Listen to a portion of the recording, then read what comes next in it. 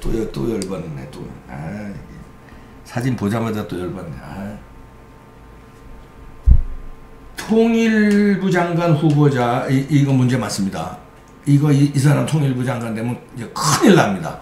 이제 완전히 우리는 끝장납니다. 사회주의로 되고 공산주의로 되고 이제 끝, 끝납니다. 에, 북에, 북한에 사가 없어도 오이사 조치 제재 풀어야 된다. 이런 생각을 가지고 있는 막말일 뿐이 아니라 이런 생각을 가지고 있는 사람이 통일부 장관 되면 어떻게 되습니까? 그냥 김정은한테 나를 갖다 받쳐주는 거죠. 그런데 저 청와대 무슨 생각으로 이런 사람을 통일부 장관에 앉힌다는 건지 의도가 분명해졌어요. 아, 공산주의로 가겠다는 천명이에요. 북한하고 뭘 같이 힘, 자꾸 손잡고 가겠다는 천명. 거기에 최첨단, 예? 이 사람을 갖다가 넣은 거예요. 오이사, 북한에 사가 없어도 오이사 제재, 제재 풀어야 된다. 이거 당당하게 얘기하는 사람입니다. 이 사람이 그동안에 논란 빚었던 말 들어봅니다. 에, 종전이 선언되념 어, 종전이 선언되면 유엔사의 임무는 소멸된다. 2003년, 2013년에. 그러니까 유엔사 필요 없다는 얘기를 서슴없이 이렇게 얘기합니다. 백, 백낙청 서울대 명예교수하고 인터뷰하는데 2015년에 이런 얘기합니다. 이 양반이 김현철이가 오이사 조치 해제할 때도 반드시 천안함 사건과 연계하나 연계하냐 그렇게 생각하지 않는다. 다시 말해서 천안함 사건하고 연계하지 말고 오이사 조치 해제해라 이런 얘기예요. 천안함 복침 사가 필요 없다 이런 얘기. 뭐 때문에 오이사 조치가 됐는데 천안함에 우리 장병 마흔 마흔여섯 명이 아까운 우리 장병이 당했잖아요. 그래서 제재를 했는데 당한 거 상관없이 제재 풀어라. 지 아들이 당했어 봐. 완전히 그냥 이, 북한에서 온 사람이지 이 사람이 이게 에? 예? 어떻게 그런 말을 할 수 있습니까? 이런 사람을 일단 통일부 장관에 갖다 앉힌다는 거예요. 아, 이해가 안 가는 정권이야. 해도 해도. 자, 그 다음에 2016년에 추미애 민주당 대표는 감염된 좀비다. 이건 뭐, 자기 마음에 안 들으면 그냥 다 이렇게 얘기합니다. 이때 또 뭐 추미애하고 뭔 같은 편인데 또 왜 이렇게 했을까? 또, 아유, 나 참. 김종인 민주당 대표 2016년에 박근혜가 씹다 버린 겁니다. 아주 말의 표현이 아주 잔인하고 악랄하고 아주 그렇죠. 박근혜가 씹다 버린 건 어떻게 이런 말을 합니까? 이 사람들은 하여튼 자 2017년에 반기문은 자기 출세하는 자전거 리더다. 음. 이런 이런 사람을 에, 지금 음, 통일부 장관 후에 앉힌다는 건데요.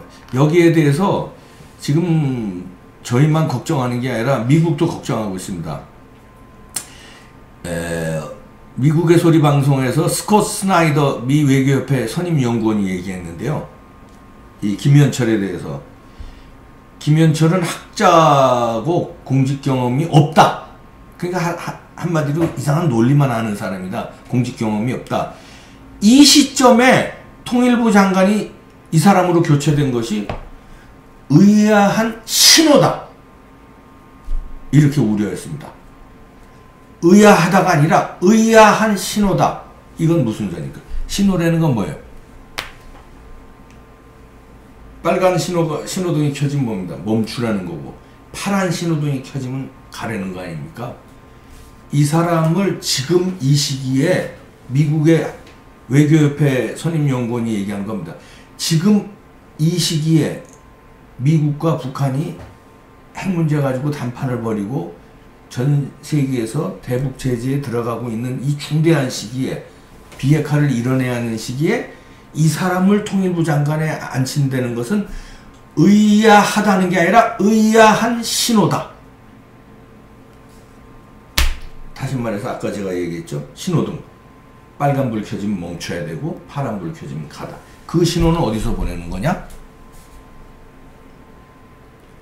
청와대에서 수상한 신호를 보냈는데 그 신호가 이 사람이 통일부 장관에 앉힌 거다.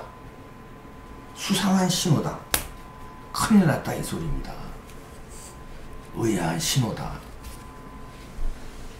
이게 스코스나이더 아주 유명한 국제정치 연구가예요. 미국의 소리 방송에서 인터뷰한 내용입니다.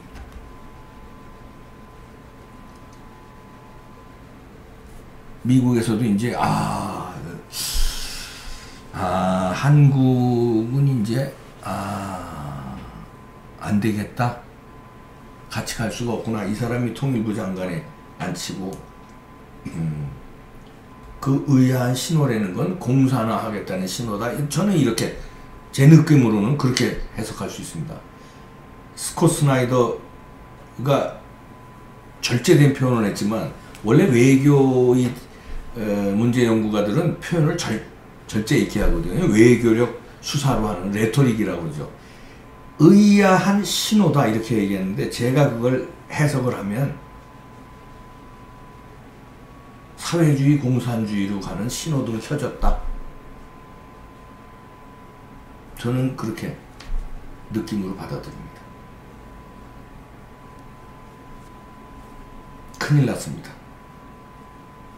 어떻게든지 이 사람 그 자유한국당에서 이 청문회에서 끌어내려야 되는데 오늘 나경원 원내대표가 보여준 전투력이라면 끌어내릴 수 있을 것 같습니다.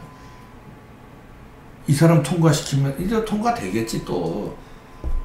어? 문재인 정권은 그냥 그런 반발 아랑곳 안 하고 그냥 갖다 막 쓰잖아요. 반발해나 마나 그냥 막 갖다 꽂잖아요. 에, 뭐 의식 안 할 텐데. 음, 큰일 났습니다. 음. 이 사람이 이제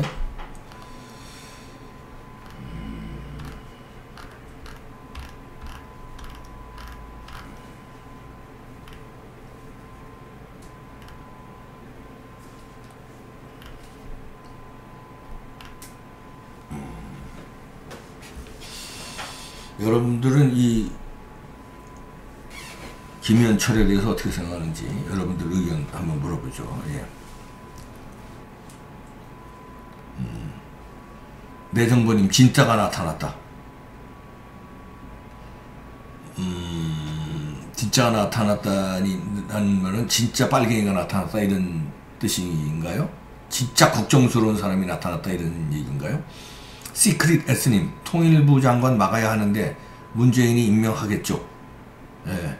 김정명님, 청문회 귀뚱으로도 생각 안 해요. 국민들 청와대 앞에 집결 햇불로 구웁시다. 예. 월 아세님, 대한 독립 만세를 외치할 시점이다.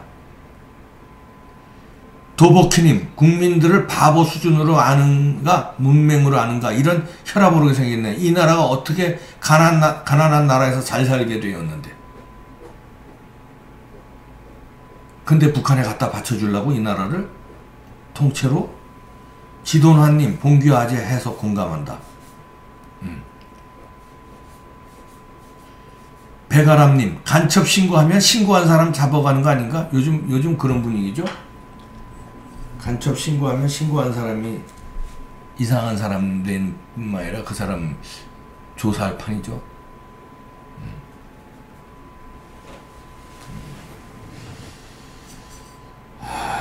김종호님, 효호님, 간첩이 득실거리는 정권이다.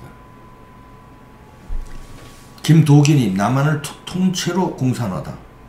심판구님, 앞으로 3년, 3년, 3년, 3년만 참자, 참자, 참자. 나경원 의원님 잘했어요. 3년만, 3년만. 이렇게 써주셨는데. 근데 3년 참아서 이게 제대로 돌아오면은 3년 참을 수 있죠. 근데 3년 참았는데 또 저쪽 사람들이 가져가면 이제 나라는 끝장나는 거고 제일 걱정은요 3년 안에 무슨 일이 있을까 봐 3년 만에 정상 복귀되면 뭐 그것까지 참을 수 있어요 근데 3년 안에 뭔 일이 벌어지면 어떡하죠?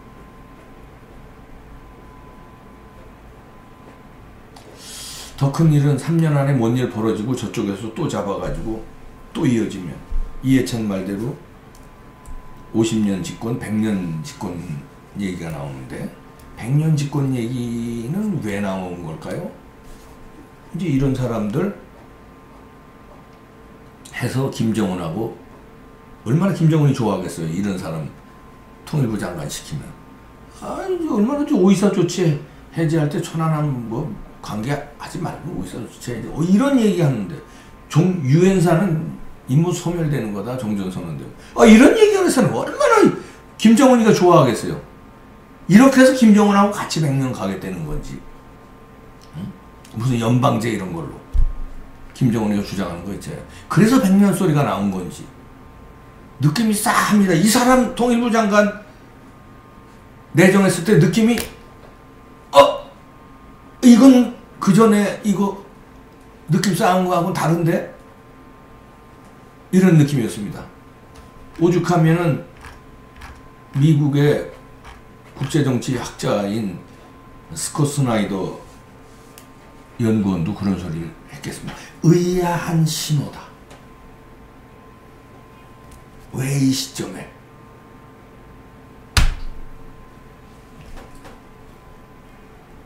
큰일 났습니다.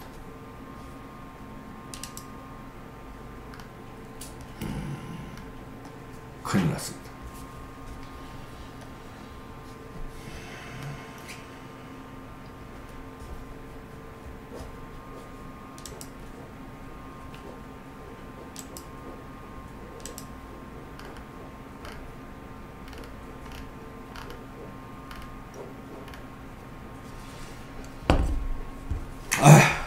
그리고 뭐, 아, 춘, 춘리님 올해가 고비다라고 했는데, 올해가 고비입니다. 진짜. 올해 제대로 남겨야 되는데, 에... 하... 제발 황교안 대표하고 나경원 에, 원내대표가 잘 작전 짜서 이 사람 막아야 됩니다. 통과 이거 되면 큰일 나요. 우리 국민들도 힘을 보태줘야 되고요. 음. 근데 저쪽 집단이 보통 집단이 아니라서 오늘 보셨죠? 그 떼쓰는 떼쓰는 거 한번 다시 한번 보여주세요. 이거 지금 이저 막 나경원 원내대표 얘기할 때 그냥 난리치는 거 이런 사람들이거든요.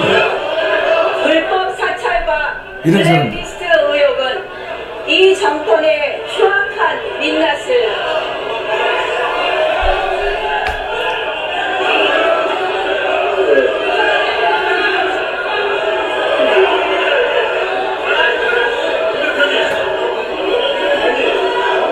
국회 본회의장이 조폭들의 회의장 같습니다. 난장판.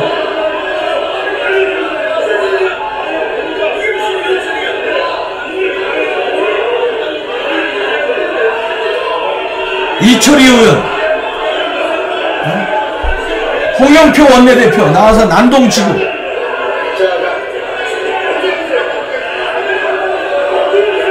여태 말리지도 않는 문희상 의장 나중에 비로소 나오고 치사합니다. 어이가 없죠?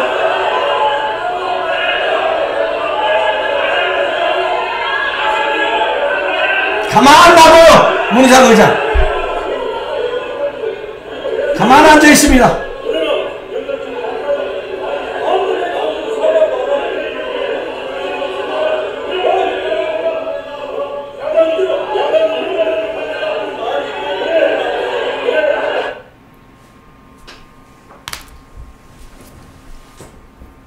이런 사람들이 아까 그 김현철 사진 줬어요. 김현철 이것도 낙마시키려고 그러면 또 저렇게 벌떼같이 난리 칠 거 아니에요?